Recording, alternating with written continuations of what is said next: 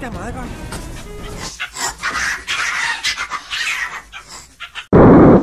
Og hvis jeg må sige noget, så synes jeg faktisk, at vi to vi udgør et ret perfekt kaptajn!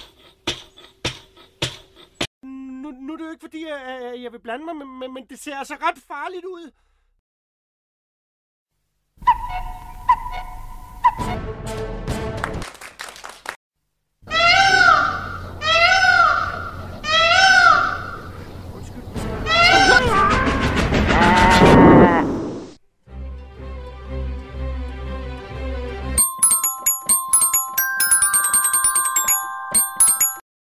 Jeg tror altså ikke, du skal røre dem.